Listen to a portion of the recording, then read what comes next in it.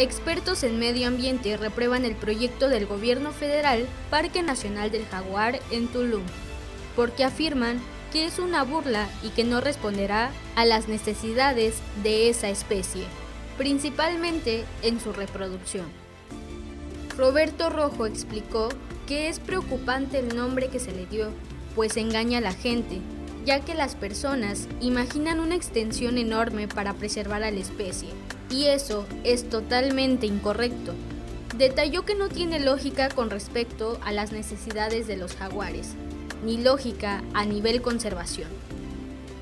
El biólogo indicó que el jaguar requiere hasta 380 kilómetros de terreno durante su época de reproducción, lejos de los 22.49 kilómetros cuadrados que propuso el gobierno federal para la preservación de esta especie.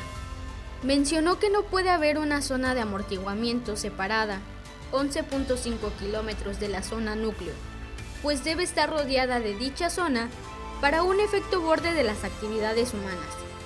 Es por esa razón que la reserva no tiene protección alrededor y está expuesta a cacería, desarrollos inmobiliarios y al ruido.